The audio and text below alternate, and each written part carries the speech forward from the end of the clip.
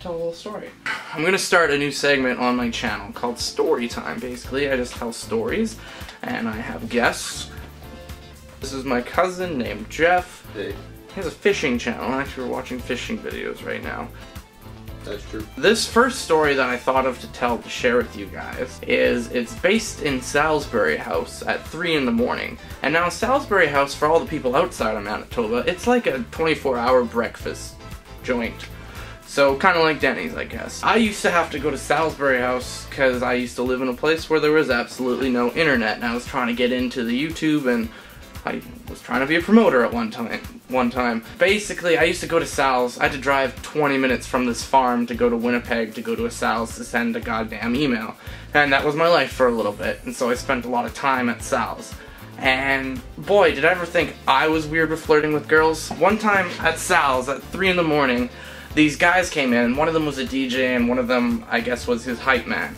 And so basically, this guy, the way he was flirting with his, trying to flirt in an indirect way with his 18 year old waitress. So basically, what, what he was saying to his buddy, he was just like, man, it's just crazy whenever, and these guys were like 30, it's just crazy whenever I have sex with like an 18 year old, she just goes on and on about how I'm like so awesome at sex, and it's just like, I didn't really think of myself as like being that good at sex, but I don't know, like, she said I was like a lot better than people her age, so it's like, man, these guys just must not be doing it right, these 18 year old guys. I didn't think I was that great, but I don't know, she's going on and on about how great I was, and was just like, wow.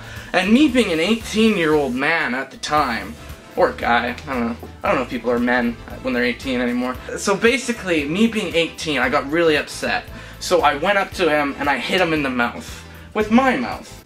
And then I slowly made love to him on that table, just to, you know, show him that some 18 year olds can be pretty okay at sex. That's the manly thing to do. Yeah, I thought so, right? Uh, this was the only way I could show him because I personally believe having sex with someone is the only way that you can show them your sexual skills. I think bragging about sex is a lot like bragging about fighting. You can sit there all night and talk about how you're gonna kick someone's ass or make someone climax all night, but no one will ever know until you actually get down and do it.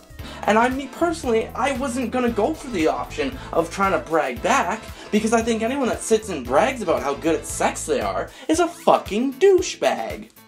And I'm gonna be honest with you, only the first half of that story is correct. I didn't make love with a guy in Salisbury House at 3 in the morning. Yeah, he just jizzed on his face. That's it. That's it. Um, so yeah, basically this is this has been my first story. I look for, forward to sharing many with you. People have been like, Mac, you need to talk about all the weird things you've seen and done in your life, and it's like this is the first step to starting to share those things with you people. Yeah, you got a lot of those stories. Yeah. Half of them you probably can't tell, but. Also, yeah, you you guys have a great day. Subscribe. Thank you guys so much.